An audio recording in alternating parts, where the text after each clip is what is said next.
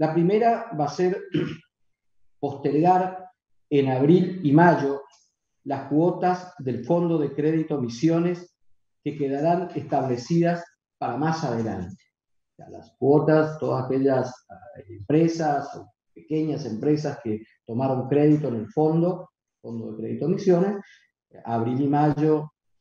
esas cuotas van a ser diferidas para otro momento que vamos a acordar, seguramente serán las últimas cuotas una vez que esté este, prácticamente vencido su, crédito.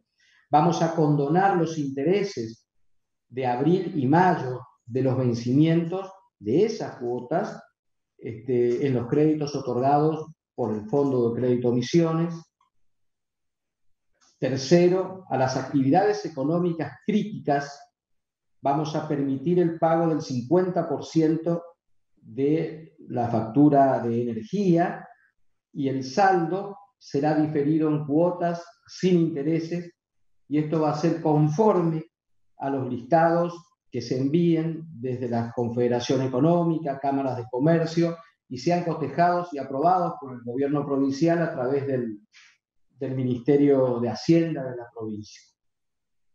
Cuarto, vamos a emitir avales desde el Fondo de Crédito Misiones para garantizar créditos con el Banco Macro y con aquellas entidades financieras que deseen participar para el pago de la nómina salarial. En aquellas pymes que no cuenten con calificación bancaria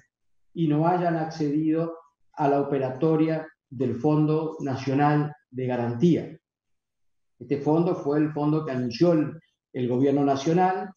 y desde la provincia vamos a emitir avales para créditos por hasta 300 millones y con un tope de 600 mil pesos por empresa. Vamos a bonificar, punto 5, la alícuota para los periodos marzo 2020 a mayo 2020 en un 40% para las siguientes actividades turísticas que facturen hasta 25 millones de pesos en el ejercicio anual anterior, alojamientos que facturen hasta 25 millones de pesos en el ejercicio anual anterior. Punto 6. Prórroga de la presentación de la declaración jurada anual de ingresos brutos con vencimiento al 30 de junio del 2020 obligatoriamente vencía el 30 de abril, o sea, la vamos a prorrogar hasta el 30 de junio. Punto 7, prórroga de la moratoria de la resolución general 49-2019,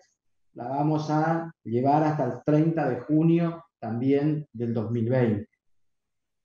El punto 8 es la suspensión de caducidad de planes de pago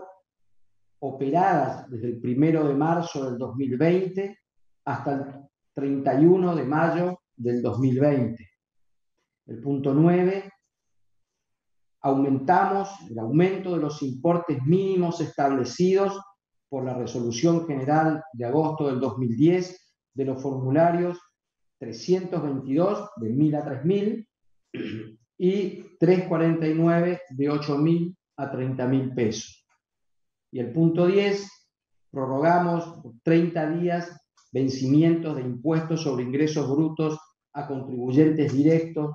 que revistan la condición de micropymes. Esto se complementa con los paquetes de medidas económicas anunciadas por el Gobierno Nacional, tales como el programa de compensación salarial para empresas hasta 100 empleados,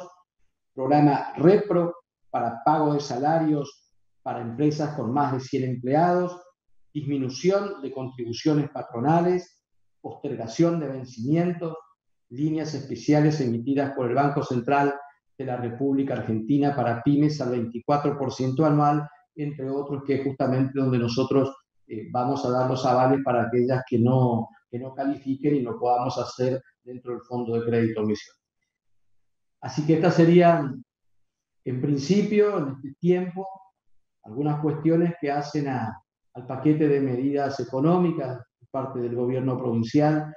eh, para contribuir en este momento tan difícil del empresariado visionero, de las pequeñas y medianas empresas de nuestra provincia. Los dejo para alguna consulta con los ministros.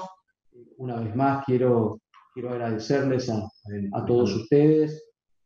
Quiero ponerme a disposición, poner a disposición nuestro equipo todo el tiempo que sea necesario para ir discutiendo cuestiones en particulares que podamos tener. Nuestra voluntad justamente es la de acompañarlos y de agradecerles eh, la confianza en el gobierno provincial, en la misma que nosotros devolvemos a nuestros empresarios de nuestra provincia, quienes los debemos cuidar, porque sabemos que son la base del sustento, la cuestión económica y social de la provincia de Misiones.